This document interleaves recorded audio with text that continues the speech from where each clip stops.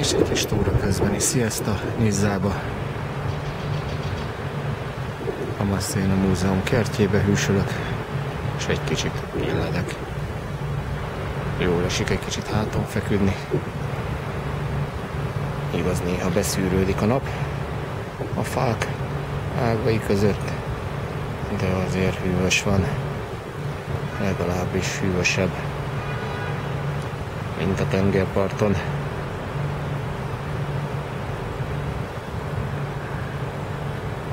Kencsa TV 2012.